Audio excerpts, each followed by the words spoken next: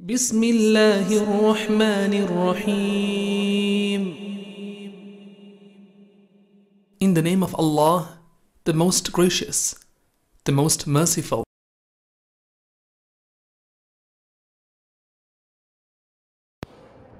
السلام عليكم ورحمة الله وبركاته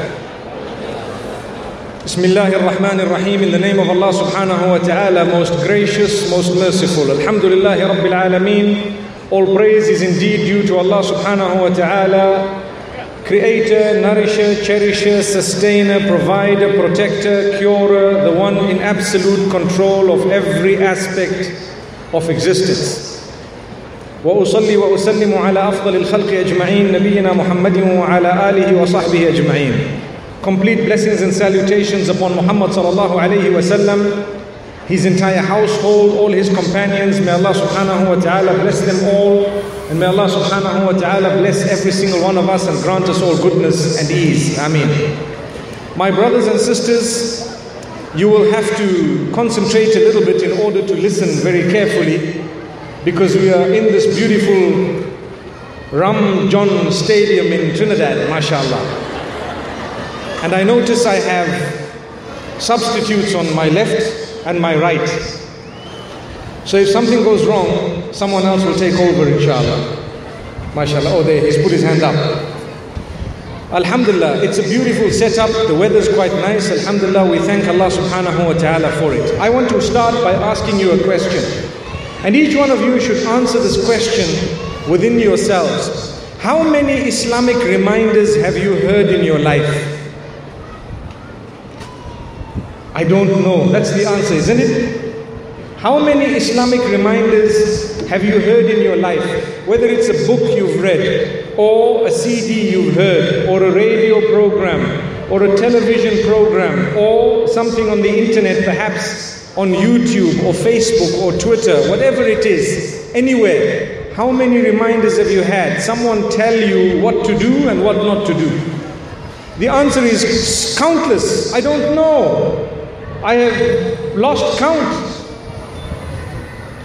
Well, how many more would you like before you transform, before you change yourself, before you become closer to Allah, before you start cutting your bad habits, and before you begin to fulfill your salah, before you begin to start dressing appropriately, before you begin to start correcting the way you speak and the way you address others, how many more reminders would you like? Can you put a number to these reminders? The answer is no. We cannot put a number to the reminders. In fact, we should be ashamed of ourselves if we've been told so many times that we've lost count what to do and what not to do, and we're still doing the wrong thing. Subhanallah. We should be ashamed of ourselves. And this is why you have heard the last two years lectures within what is known as revival of the Ummah conferences, some of the best speakers internationally who speak in your language, subhanallah, have come to you to remind you. Everyone's reminder was directed towards one thing get close to Allah, get out of the trap of shaitan. Get closer to your Maker. You are going to return to Him very, very soon, just like your friends and relatives have, have returned to Him. And so get closer to Allah. So you've had the finest from the globe come to you and tell you to get close to Allah subhanahu wa ta'ala. And at the same time, I don't need the water, Sheikh, it's okay. At the same time, we are still the same people we are. Have we changed? If we haven't changed, then something is wrong. Because then it's a waste of time coming to a talk telling yourself, wow, it was a good talk, it was something great and grand, but our lives have not moved an inch, not even a centimeter, not even a millimeter, nothing. So, what's the point? Why should we be from amongst those who just enjoy listening to a good talk and it, we don't bat an eyelid? We don't even change. We're not transformed in any way. What is wrong? Well, I can tell you what is wrong. Point number one the Prophet ﷺ speaks of a certain piece of flesh in the body. ألا وإن في الجسد لمضغة إذا صلحت صلح الجسد كله وإذا فسدت فسد الجسد كله ألا وهي القلب in the hadith of Nu'man ibn Bashir radiallahu anhu in Sahih Muslim the Prophet sallallahu alayhi wasallam is reported to have spoken about halal and haram and towards the end of the hadith he says indeed behold in the body there is a certain piece of flesh if it is pure and good then the entire body will be pure and good. And if it is bad and corrupt, then the entire body will be bad and corrupt. Indeed, behold, that piece of flesh is the heart. The heart has no bone, subhanallah. It pumps the blood. It is the seat of governance of the entire body, the heart. If there is a disease within you, you have to have a blood test. And then you will tell what is in your blood and what is wrong with you. May Allah subhanahu wa ta'ala grant us goodness. So, the Prophet ﷺ tells us if this heart is good and if it is correct, then the entire body will be good and correct. And if the heart is corrupt, everything will be corrupt. Sometimes people have a bad heart, so they have bad thoughts and ideas. Everything they see, they relate it to something bad and evil. And sometimes some people are so innocent, they have such good hearts that even when they see evil in front of them, they have a good thought to say, no, no, perhaps this is something decent. You know, like we say, sometimes we are so good that when the robber comes to steal, we actually give away our goods. And we think that it's someone who's just come to hold our goods for a little while. You know, I recall a maid who worked for us. She fell for a scam once. After she had her salary at the end of the year, uh, she went with the salary to one of the markets, to the city center. And there was a scam at the time where where the shops, you know, you have window shopping. A lot of us are professional window shoppers, which means we don't actually buy, but we enjoy looking, mashallah. So you have the window shopping and there were some shoes being sold and she was looking from the window. So a man appears with a dust coat and says, Can I help you, ma'am? She says, What do you mean? So the man says, and this is a true story. The man says, I work in the shop. Whatever you see in this window, I can get it for you at a 10% discount. So she says, Okay, I want those shoes. And she gave her size and she gave him the money. And the man disappeared completely, never to be seen again. Subhanallah. So if we take a look at this, we would actually realize some people's hearts are so clean, so good, that they give the robber the money with their own hands and they say, Take it. And they know that this man is outside of the shop, for example, and they know, subhanAllah, that this man has met me outside the door. I'm giving him money. I've got no guarantee I'm going to get my things. But that's the heart. Your heart was clean and his heart was so dirty that he robbed unsuspecting people and he took their money away. So Allah subhanahu wa ta'ala warns us through the blessed lips of Muhammad sallallahu alaihi wasallam to have good intentions. When you have sincerity of the heart, Immediately, these talks that you hear will impact upon your life, and your life will change. And it will not just change one day, but it will continue changing, and you will continue getting closer to Allah subhanahu wa ta'ala until the day you meet Him. Because if I can say that, okay, I heard a certain lecturer lecturing, and I heard a certain reminder, and I heard certain verses of the Quran being recited, and it changed me, and I changed my life. That's not good enough. Subhanallah. Why is it not good enough? Don't use the past tense and say it changed my life, but say it started a change in my life that will continue to the day I die. That's what it is. Because if, for example, you cried tears of repentance and you asked Allah's forgiveness and you started reading your five salah a day and you think that that's Islam, then there are so many criminals who read five salah a day. What about them? When I say that, what I mean is, there are people who read five salah a day and think that that is the only thing Islam asks you for, and then they beat up their wives, or maybe they beat up their husbands, Allah knows best. And at the same time, they are rough with their mouths, they cheat and deceive, they rob, and they might be doing so many other bad things. So that shows us that repentance is not just connected to one thing. Transformation is a lifelong commitment that you need to make unto Allah subhanahu wa ta'ala. So when I cry tears of repentance and I say, Oh Allah, forgive me, grant me a new beginning, it's not like everything is going to become so peaceful overnight. You might achieve peace in your heart, but you will have to work so hard to achieve peace in your life. Because to become a true believer, a great effort is required. Allah will test you. أحسب الناس أن يتركوا أن يقولوا آمنا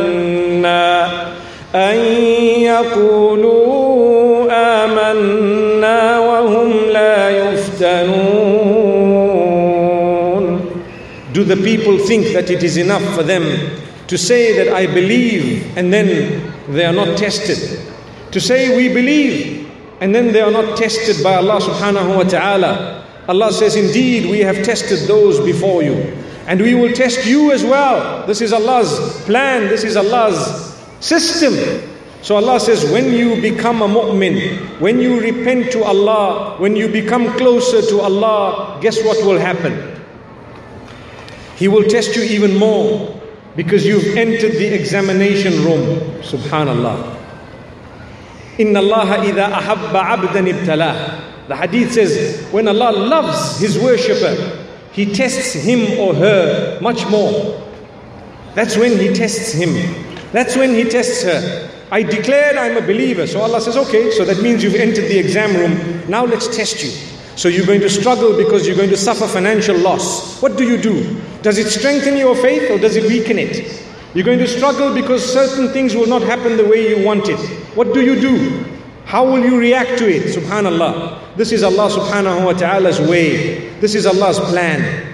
When you're not in the exam room, you may enjoy life. Take a look at the disbelievers. Allah says, لا يغرنك تقلب الذين كفروا في البلاد متاع قليل don't let the fact that the disbelievers are enjoying their life deceive you. Allah says that those are just provisions for a short period of time after which they will get what they deserve. They haven't entered the exam room. What's the point of asking me all the O level questions when I haven't even paid my fee for the examination and I haven't even entered the room? But when I've entered the room, I expect a lot of questions and tough ones and you need to enjoy the hard questions, the difficult ones, because those are the questions that separate the horses from the donkeys. Subhanallah. Not to say any, any one of us are donkeys, but at the same time, none of us are horses either. Allahu Akbar. It's just an example. How would you like it if all the questions of your O and A level examinations were so simple that everyone got A plus, A star? It would be worthless, pointless. What was the point of me working so hard? We all got A stars. The one who didn't work and the one who struggled all night and every day got the same results. So Allah says the same applies. We will test all of you to see who from amongst you endures and who does not. أم حسبتم أن تدخلوا الجنة ولما يعلم الله الذين جاهدوا منكم ويعلم الصابرين Do you think you're simply just going to enter paradise? When Allah subhanahu wa ta'ala says, We have not yet tested you. Who from amongst you is ready to struggle? Who from amongst you is patient, can endure? Subhanallah. May Allah subhanahu wa ta'ala grant us droplets of mercy. Ameen. Alhamdulillah.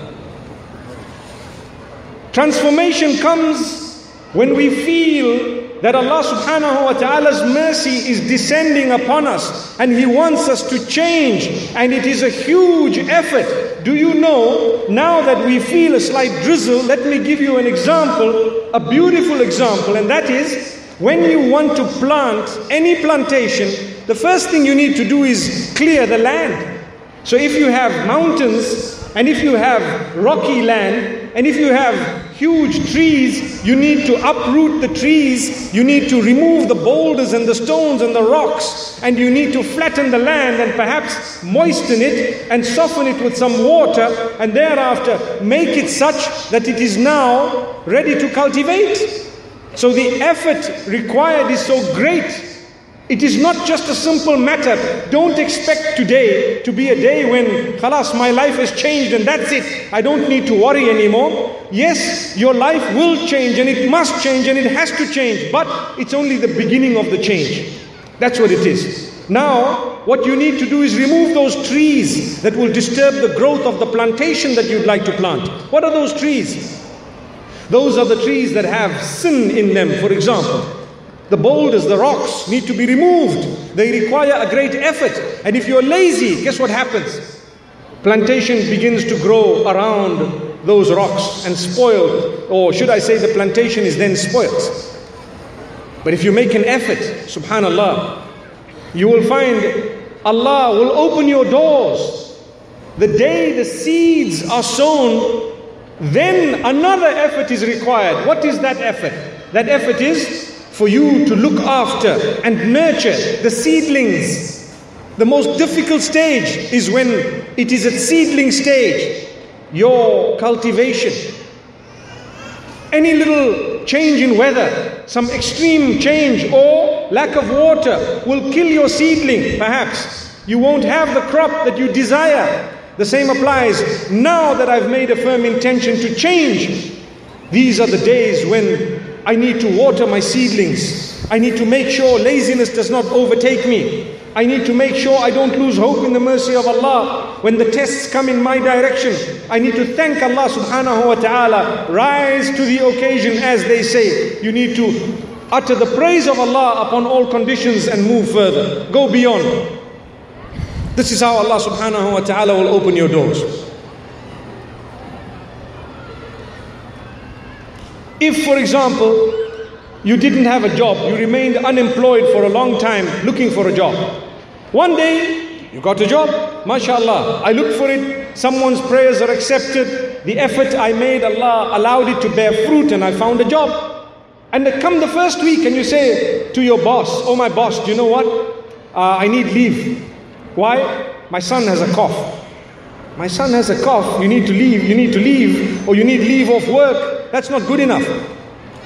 Or you say, you know, my uncle's brother in law's, sister in law's wife. Does a sister in law have a wife? That's what I mean. You want to create such a story that you start lying. You make a blunder that catches you. And you say, oh, well, she died. It's such a distant relative. I need to go. But you just started your work this week. What impression does that leave upon your boss? He's going to say, This person's not really serious. It's the seedling phase. Yes, if you've worked for five years without missing a day, then you come to your boss and say, You know what? I need a day off. Even if you don't explain why, the boss will say, You can have two days off. Sorry, he might not say that, but I hope he does. May Allah subhanahu wa ta'ala make us good bosses. Any one of us who happens to have employed people, remember, it's just a phase, it's just a test. It doesn't mean you're greater than them just because you pay them a salary. No, perhaps in the eyes of Allah they may be greater than you, and who knows, maybe your paradise might come through their dua or through some relation that you've had with them. Perhaps they might have worked on you. How many of us have people working for us who've spoken to us in such a beautiful way, reminded us of Allah subhanahu wa ta'ala in such a way that our lives have changed. Yet, in this world, we were actually the ones who paid them. May Allah subhanahu wa ta'ala make us unique. May He make us from those who can help one another, whether we're employed or the employee. So, in the early stages, when you've just repented, you need to be sincere in that repentance. Say, Oh Allah, I don't want to go back to the adultery I've been committing. I don't want to go back to the gambling that I've been engaging in. I don't want to go back to the drugs and to the bottle that I've been having.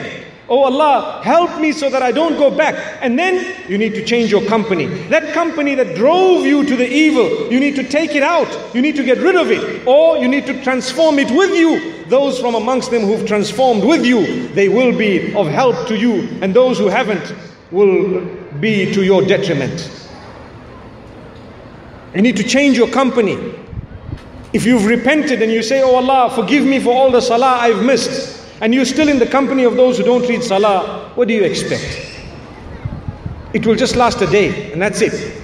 And after a day you say, we felt good, so we all read Salatul Maghrib, Salatul Isha, mashallah, beautiful stadium here, something historic I would say, something really great, what a nice feeling, but is this the only salah you've read in a long time?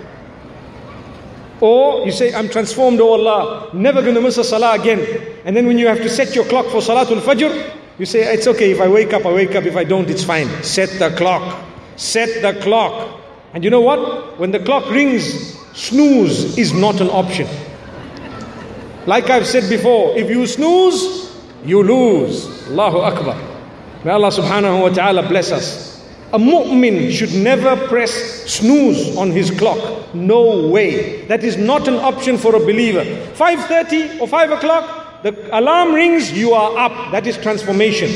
You are up and you get up and wash your face with cold water, beautiful water, and you make sure that you can leave that alarm ringing because the rest of your home also needs to be up. Subhanallah. Ring it loud, even if they get irritated. So what? It's a blessed irritation. Oh, if your elder brother smacks you, don't come and say there was a blessed smack. Allahu Akbar. May Allah not make us from amongst those. It might have been a blessed smack, Alhamdulillah. Yes, it was in the right cause, MashaAllah, Subhanallah. My brothers and sisters, the point being raised is when you've turned to Allah, make an effort to maintain it and grow upon that. Today we hear a good talk. I want to ask you a question. How many of us seated here, and I want you to show me by raising your hands, how many of us seated here would like to become closer to Allah? Put up your hand. 100% of us, Alhamdulillah. So, how many of us are ready to change our lives for the sake of Allah? Put up your hand. There we are. Now, let's put our hands down because here comes the tough question. How many of us are prepared to get up for Salatul Fajr tomorrow morning without fail? Get up, put up your hand. Okay, I've got a talk here tomorrow. I'm going to ask you how many of you got up for Salatul Fajr this morning? And then we'll have to show the hands. MashaAllah. May Allah subhanahu wa ta'ala help us. May Allah subhanahu wa ta'ala open our doors. Really, it's easy to say, I want to change, oh Allah. But when shaitan starts massaging you at the wrong time, you know when he starts? Shaitan starts with you at night. And he tells you it's only a movie, there's only three hours remaining. Just watch it, it's fine. That's the beginning of the end of Salatul Fajr. That's what it is. Because he knows you're going to sleep late, you're going to sit with your friends, the corner of the street, the pavement, or sometimes the masjid. Salatul Isha. Have you seen people smoking? You know where? They go to the house of Allah. They go right to the house of Allah. They sit at the door of the house of Allah and they light up a cigarette. Allahu Akbar. You have a bad habit, please don't go to the house of Allah to prove that you have a bad habit. That bad habit needs to be something that's private between you and Allah. Don't be proud of the bad habit.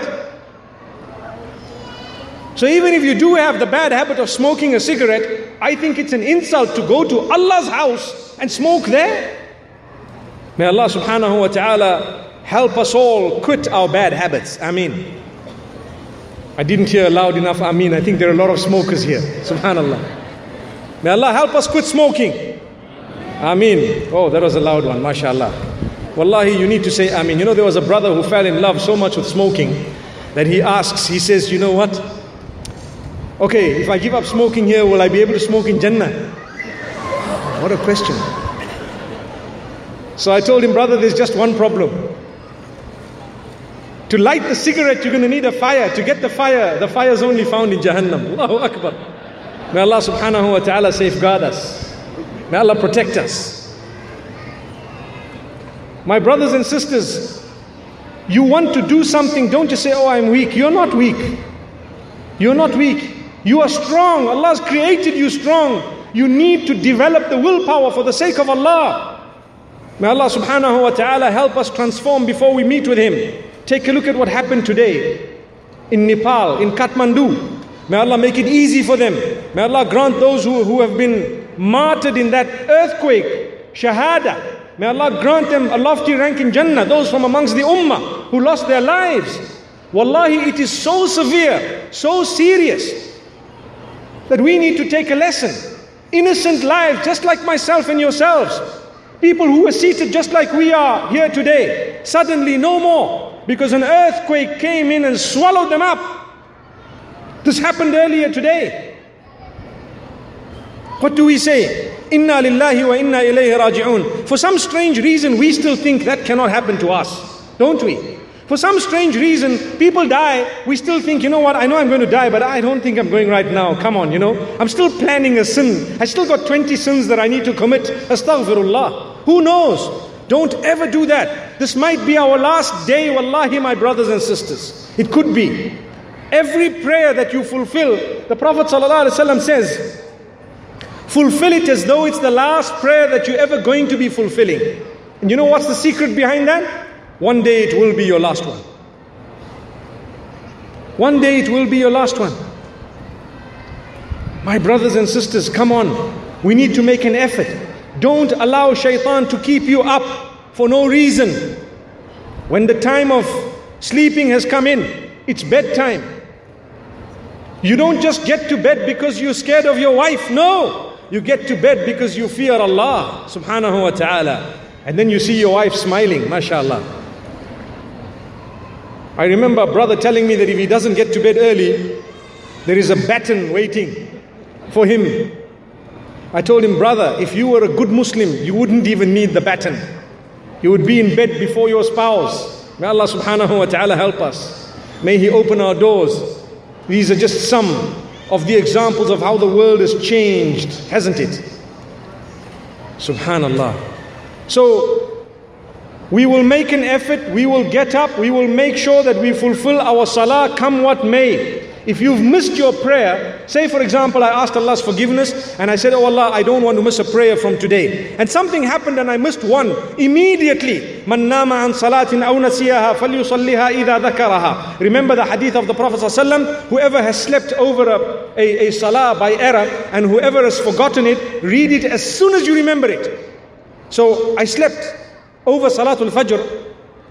And I got up and the sun had already risen. As soon as I get up, make my wudu, read my salah, and continue with the rest of my day. Read it as qada. It's definitely something that you've now done. So your record is still sitting at zero missed. From the time I sought forgiveness, zero missed. Because I made up those that I missed. And do not be lazy. Laziness is such that when it comes to food and drink and nice things, we're not lazy. We can go to a mall and walk around window shopping with not a penny in our pockets all afternoon just to look nice. And just so that people can say, wow, that's all. People can do this. Do you know that? I've met a few people in a mall in a certain country, and I was there with my kids, and we were trying to, you know, get to the kids' area where there was a bit of entertainment for the little ones. And I met these people and they greeted me, oh Shaykh, mashallah, you know. And I greeted them, oh, alhamdulillah, mashallah. So they said, what are you doing here? I said, I've just come. Why? Is there, is there something different that you can do? What are you guys doing? They said, no, we're just walking around. Oh, walking around, okay. Walking around here in the mall. Okay, yeah, yeah, walking around in the mall. Uh, I've come with my children for my children to play. My children want to see the kids area. Do you know where's the kids area? No, I'm not sure. Okay, but now, uh, you guys come from here, don't you? Yes, we do. You don't know where's the kids' area? Okay, there's an information counter here. You can ask there. Say, fine. So we went, we enjoyed ourselves, we came back, we saw the same people on our way out, walking around again. So I said, guys, you're still here? Yeah, we're walking around. Said, you're still walking around? It's a few hours later. Oh, we've been here since the morning. Doing what? No shopping, no bag, no, not just walking around disturbing the opposite sex. That's what it is, nothing else. They just want you, you just want to show them I've got muscle and I've got this and I've got a scent. And that scent, they're not foolish. They know you've just walked into the perfume shops and tested all the perfumes. You don't actually own anything. Subhanallah.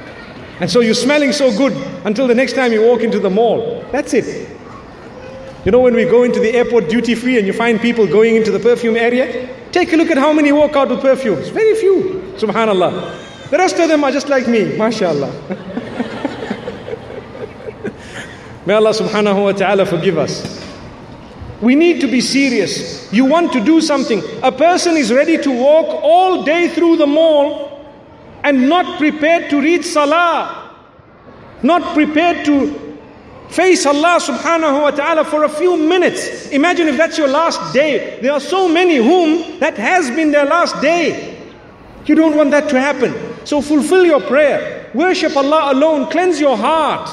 If you cleanse your heart, it becomes easier for you to be a good Muslim. Cleanse your heart. Learn to love others. Learn to look at those who have achieved more than you in terms of closeness to Allah. And don't look at those who've achieved more than you in terms of material living.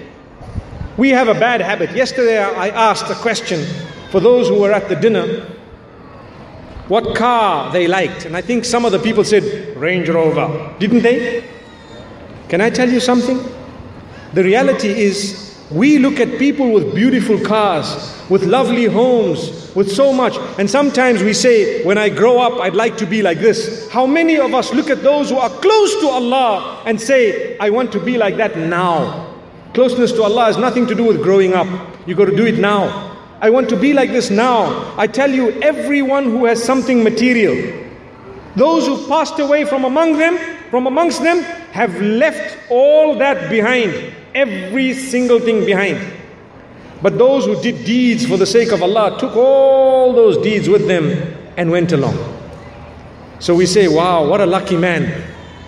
Does anyone say, what a lucky man, he left behind $10 million? No one says that. He wasn't lucky. He left it behind for someone else. He was so miserly that he spent nothing. Nothing at all. He just amassed it and then he went away, leaving it all behind. But when a person has done good deeds, what a lucky sister. She went for Umrah and guess what? Allah took her away in Mecca. MashaAllah. What a fortunate brother. He went for Umrah, Allah took him away in Mecca. Subhanallah. What a fortunate sister. She was reading Salah, she passed away in sujood, in prostration. Subhanallah. What are the chances of someone passing away in prostration? Well, I can tell you, if you don't read salah, the chances are nil. Because you don't read the salah. And the, the more salah you read a day, the chances are greater. And for someone to have passed away in sujood, it must be meaning that that person read salah even when they were feeling not well. Even when they were unwell, they were still reading their salah. How many of us, for any little excuse, we won't read Salah. We won't even read the Quran. How many of us have read the Quran with its meaning, cover to cover? Put up your hand. Very few hands. Okay, I tell you what, if Allah gives us life, and this is a challenge, and I'm not joking, I will remember. I see the faces. MashaAllah. I'll point at you next time, inshallah.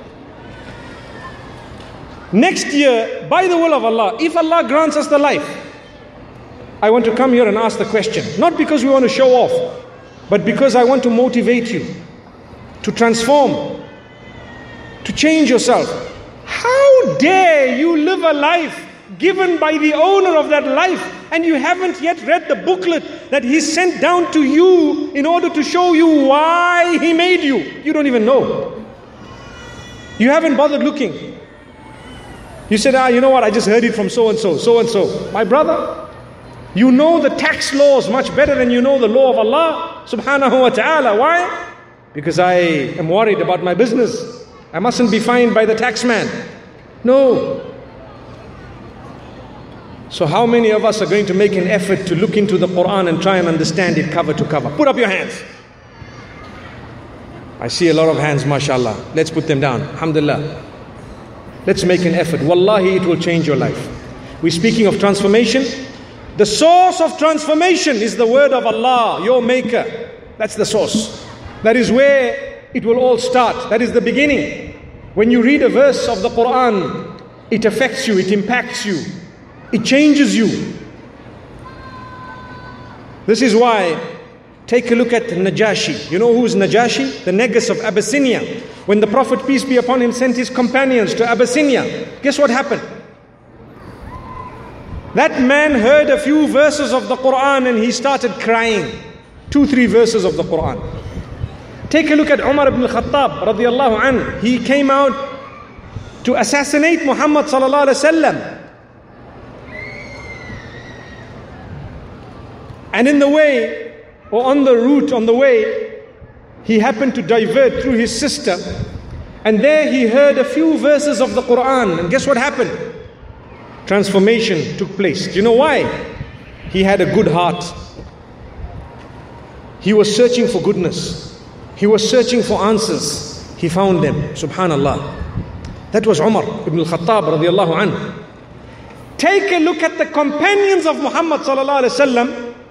Any one of them who looked at him, believed in him, if he had a good heart. And once he believed in him, immediately he was known as radiyallahu anhu or radiyallahu anha. May Allah be pleased with him or may Allah be pleased with her. So if you say the name of any of the companions of Muhammad sallallahu alaihi wasallam, what do you have to say with it? You have to say, may Allah be pleased with him, may Allah be pleased with her. Wouldn't you like it if people said your name? And after your name they said, may Allah have mercy on him, may Allah have mercy on her, rahmatullahi alayh, rahimahullah, may Allah have mercy on him or her or alayha, subhanallah. Well, if you have the correct heart, you will be able to pick up goodness. Because there were others from amongst the kuffar of Quraysh, from amongst the disbelievers who saw Muhammad and knew him, and some of them were related to him, but they never believed. Because they looked at him with the wrong eyes. They looked at him with malice. They looked at him with jealousy, with hatred, with ill feeling. That kept them away from the straight path. It kept them away from goodness, subhanallah. So if you would like to achieve goodness, you need to fight your hatred and jealousy, envy, animosity. You need to fight the bad habits, the bad qualities against others. If I have a bad feeling against my fellow believers, if I have hatred and enmity, how do I expect to be transformed? How do I expect change? I need to learn to be a member of the ummah by loving the rest of the ummah. In fact, I need to turn to humanity at large and I need to be able to reach out to them so that they see the goodness in Islam. Islam, don't be selfish with it. It does not belong to you as a possession. No, it is an amana entrusted to you. You need to deliver the goods to the rest of humanity. So, for those who think that every non Muslim out there doesn't even deserve to live, they are so foolish because they've forgotten that somewhere up the ladder we or our ancestors were not Muslim. And we accepted Islam because of someone, someone's effort. Someone somewhere down the line tried. Someone definitely spoke. Someone transformed. Someone changed. So today we are seated here. How many of us are ready to make an effort on others? We're not even ready to make an effort on ourselves, let alone others. Subhanallah. May Allah subhanahu wa ta'ala help us to make an effort on ourselves. My brothers, my sisters, how long are we going to continue swearing? How long are we going to continue making others' lives difficult, whether it's in the home or outside? How long are we going to continue sinning? When we sin, we don't appreciate what is permissible. When we engage in that which is prohibited, Allah snatches away the beauty and the essence and the sweetness from that which is permissible because we are seeking pleasure in that which is prohibited. When a man has earned a lot of wealth but he goes to gamble, the blessings from that wealth is gone and he loses his money. When a man or a woman is engaging in that which is prohibited, say for example, illicit relationships, the blessings are snatched away from his or her life. Then we start finding difficulties that we cannot resolve in our lives. Our wealth is gone. We don't know why is it that all this money I had, I earned so much at the end of the month, or I did such a good deal and I earned millions, and where is it all gone? Well, the blessings were snatched away. This is why those who've earned one tenth of your salary live a much more content life than you. May Allah not do that to us. Learn to turn to Allah, and Allah subhanahu wa ta'ala will turn towards you. In tansurullah yansurkum. If you adopt the instruction of Allah, you get close to Allah, Allah becomes closer to you. Man atani yamshi ataytuhu harwala. Whoever comes close to Allah walking, Allah rushes to the person. Allah is great. Allah is forgiving. Never lose hope in the mercy of Allah. We need to change for the sake of Allah subhanahu wa ta'ala. I am not going to be here every day to remind you. And my reminders, the reminders I get, will not be every single day. But you will have different reminders. It's up to you to make an effort. If a reminder makes you feel good, today we have something known as a recording, video recording, audio recording. Go and listen to it. Repeat it. Repeat a lecture. Go back. Go and listen to it again. It's a dose. It's a dose of an antibiotic, for example, to combat the spiritual diseases that we may have. So listen again and again. Repeat it. Be in good company. Be with those who are like minded. And learn to respect those who are not. When I say learn to respect those who are not, remember that one day we might have been in their shoes, we might have been in their condition, we might have been in that position.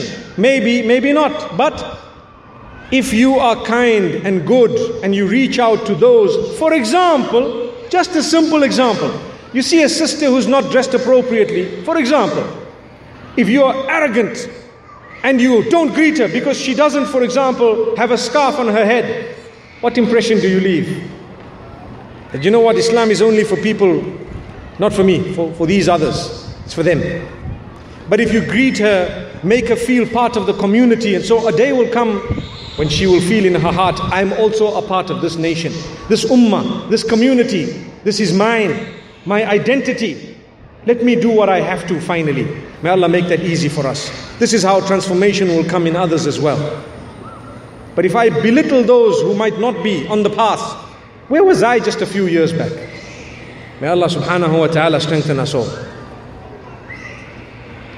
And one of the cornerstones of transformation is when we seek forgiveness, don't let the devil entrap you once again by making you think, you know what? Okay, Allah is Ghafurur Rahim, He forgives. The tawbah is definitely accepted all the time, but not from me because I have just crossed the line.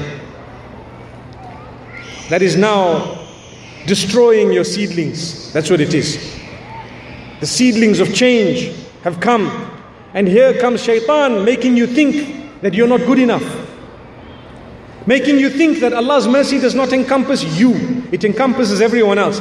My brothers and sisters, no matter what you have done, no matter what it was, Allah's mercy and forgiveness extends well beyond your sin and your crime. All you need to do is to repent, to ask Allah's forgiveness, to admit your guilt, to regret it, to ask Allah subhanahu wa ta'ala's forgiveness, and to promise not to do it again. This is what it is. This is the promise of Allah subhanahu wa ta'ala. He forgives everyone who seeks forgiveness. Even those who've engaged in shirk, association of partnership with Allah. If they seek forgiveness before they die, there is hope for them. That's the mercy of Allah subhanahu wa ta'ala. If they seek forgiveness before they die, there is hope for them. So never lose hope in the mercy of Allah subhanahu wa ta'ala.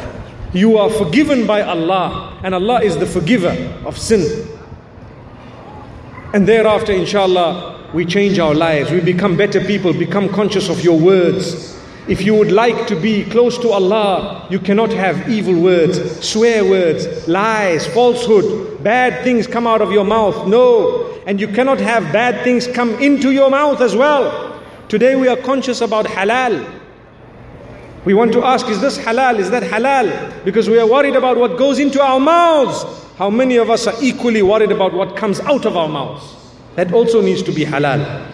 Sometimes what comes out of our mouths is worse than pork, worse than swine, so to speak, worse than the flesh of a swine. Of a swine. Allahu Akbar. It's just blurted out of your mouth. To whom? To those who are closest to you in relation.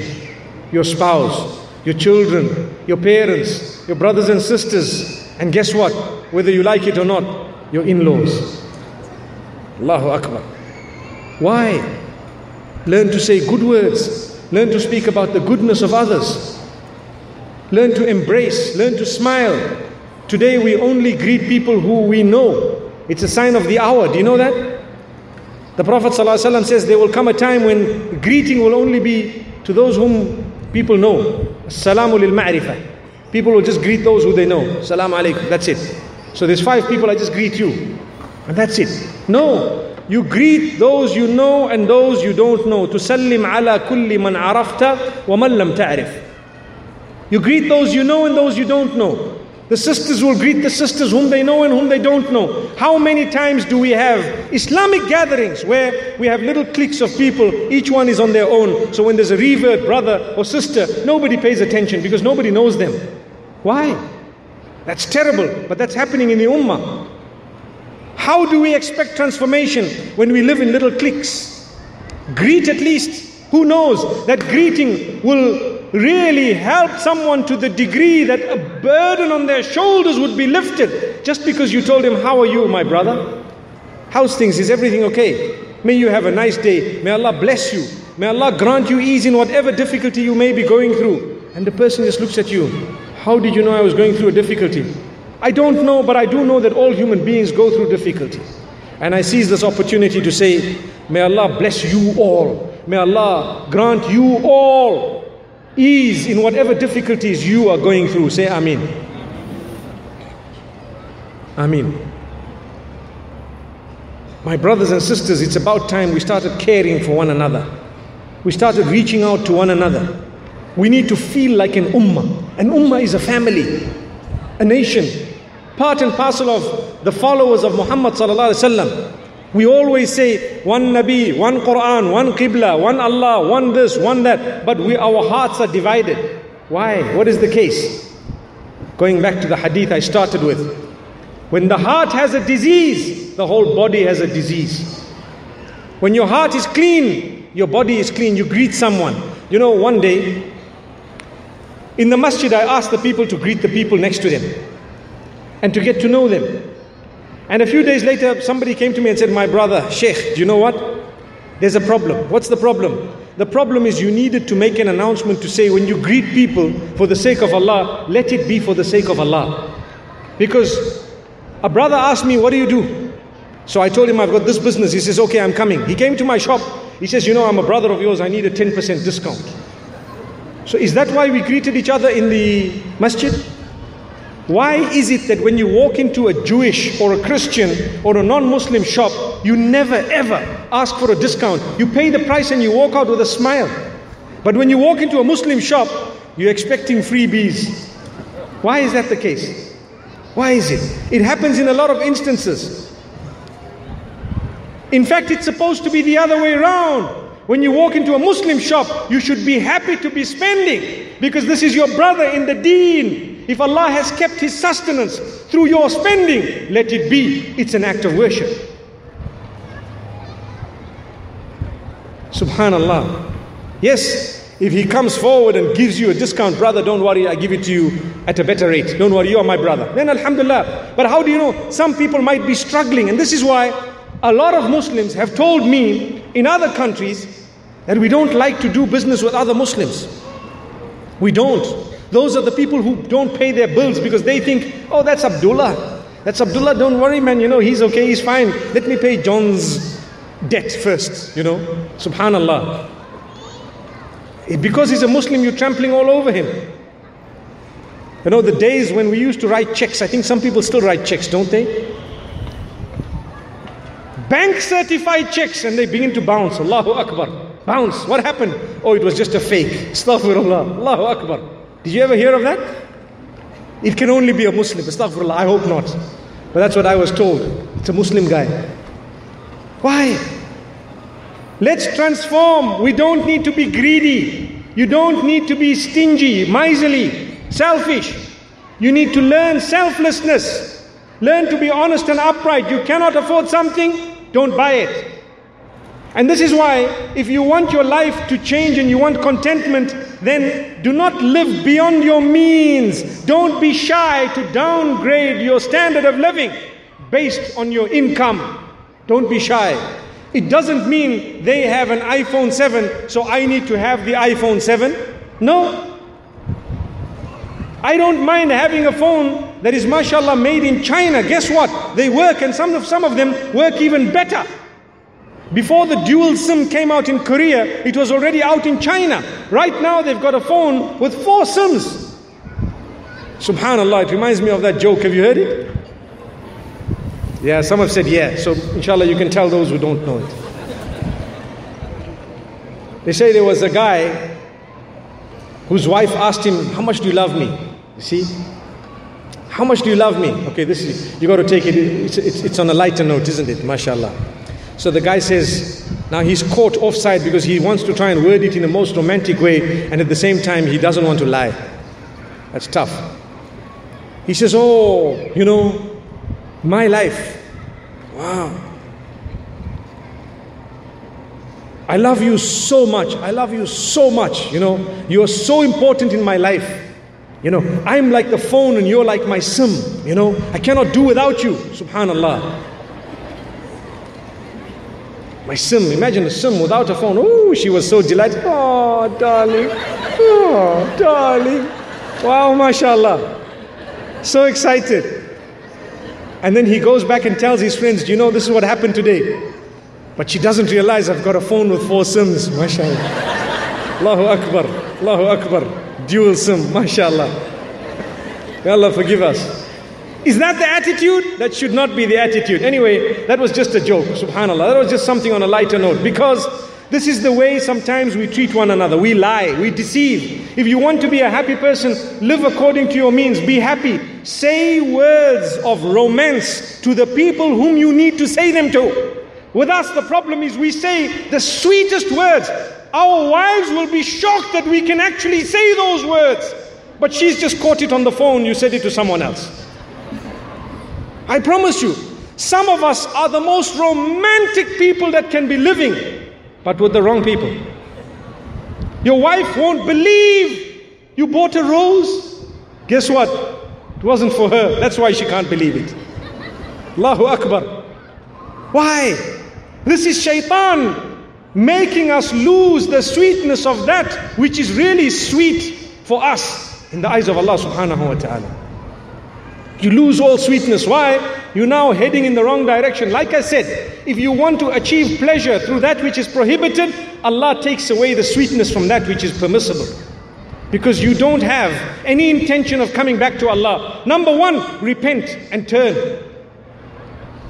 And if a few hearts have to be broken for as long as you are building other hearts, it's fine. Allahu Akbar. Did you hear what I just said? If you have an illicit relationship, haram, totally banned, adulterous, and so on, and you're not quitting it because you think you're going to break someone's heart, you need to know that the hearts of those who mean much more are already broken. Subhanallah. You need to mend those, build them. You need to know that when it comes to the link with Allah, it comes first. That will heal. The people will move on if you allow them to move on. Subhanallah. But you will never move on if you clutch to the sins that you've been committing with the excuses that the devil puts in your minds. May Allah subhanahu wa ta'ala forgive us. Be honest and upright. Don't make false promises to people. No, don't. Don't promise people. So many people, and this has just come to my mind because we're talking of marriage, promise others that they will marry them, and when push comes to shove, they walk away. Have you seen that? Why did you promise? Why didn't you just be open from day one? Just be honest. Just be honest from day one. Be an upright mu'min you will have a lot of contentment. Allah will bless you in so many ways. Trust me, the amount of happiness you achieve by sticking to that which Allah has ordained and made permissible and beautiful and correct and upright and pure and clean is so great that it is incomparable. You cannot compare it to anything else. That is Allah. And the amount of stress and anxiety that sin comes with is so much that it is not worth it at all.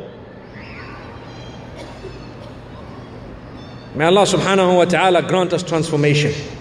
May He make us from those who take lesson. We don't need to wait until we are struggling and suffering before we turn. Are you waiting to lose your eyesight before you become a good person? Are you waiting to suffer a huge car accident and break your limbs and be slightly paralyzed this way or that way before you turn to Allah subhanahu wa ta'ala? May Allah grant cure to those whom that has happened to. But a wise man is he who learns by what Allah has revealed and Allah has said. May Allah make it easy for us. My brothers and sisters, tomorrow, inshallah, we'll be gathering here again in order to continue. And I have something very important to say, and I will keep it in store for you tomorrow by the will of Allah subhanahu wa ta'ala. If Allah gives us the opportunity, we will come back here and we will speak about it. As for this evening, we've heard quite a bit. I hope that the few words we've heard have motivated us to begin this transformation, the change towards Allah, becoming closer to Allah. Islam is a beautiful religion. It allows you to enjoy life within the limits of Allah. Imagine if the religion was such that we were told you're not allowed to enjoy anything. That's it. You have to remain in the synagogue or in the masjid or in the place of worship all your life. That's the only time you're going to get paradise. Imagine if that was the instruction. What would we have done? But the instruction is go out, enjoy, eat, go and buy, go and work, go and earn, but spend in a correct way, be polite, be people who are upright, and have clean fun. You don't need to have dirty fun because that's not fun. Let it be clean, let it be beautiful. Enjoy yourself, don't be extravagant.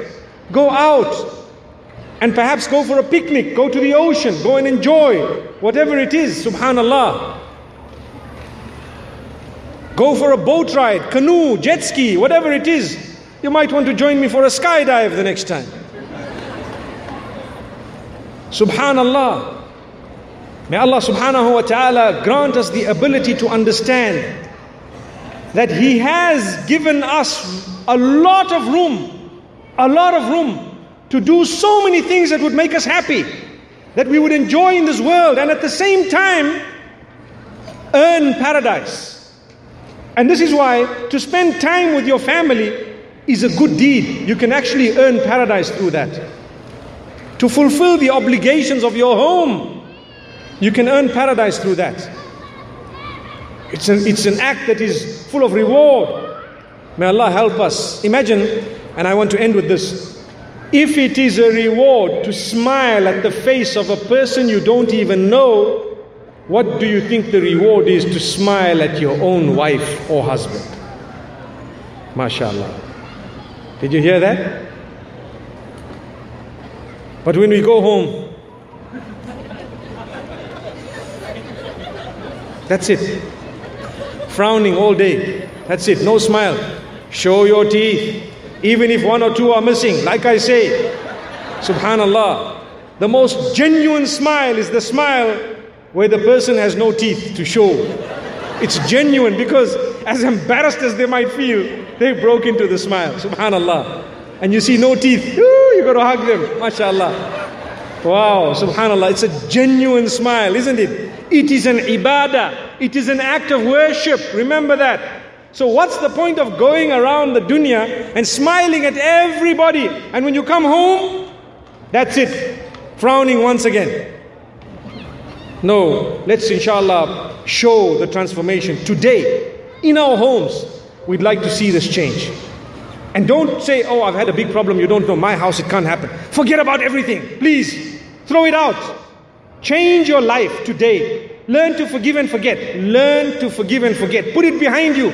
Turn a new leaf. Start afresh today. Ask Allah's forgiveness and open the doors. Develop a link with Allah and open the doors even in your own home. Have a brilliant house where when you are there, the house is lit up, beautiful. When you're not there, people miss you. They actually miss you so desperately that they sometimes begin to cry because you're not there. Allahu Akbar.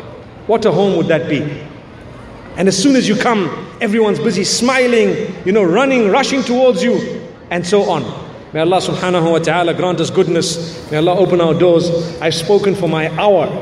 And I thank Allah subhanahu wa ta'ala for this opportunity to be speaking at this Ramjohn Stadium in Trinidad.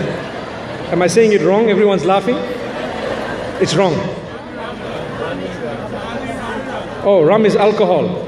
Well, at least they didn't say Ram Muhammad, but or Ram Abdullah, astaghfirullah. It's John, inshallah. I saw how it was spelled J H O N. You know, so the Muslims don't drink, you know that. Alhamdulillah. Is it John? It's John, I saw. I really, I, I looked at how it was spelled, Habibi. Yeah, J H O N, exactly. Am I right?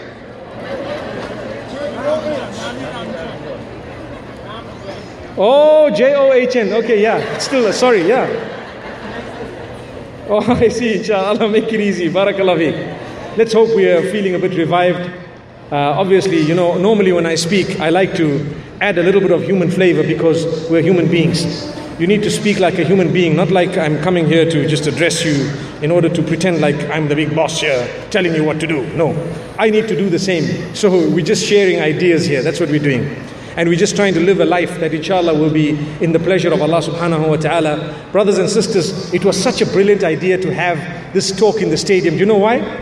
This is the closest that people are actually to me. So close, you know, close range. I can actually see the color of your eyes, mashallah. I hope it's not just uh, colored contact lenses. May Allah subhanahu wa ta'ala bless us and grant us ease. Wa sallallahu wa sallam wa baraka ala nabina Muhammad. I'm looking forward to tomorrow. Subhanallah bihamdihi, subhanaka Allahumma bihamdik. Nashhadu an la ilaha illa anta nastaghfiruka wa natubu ilayk.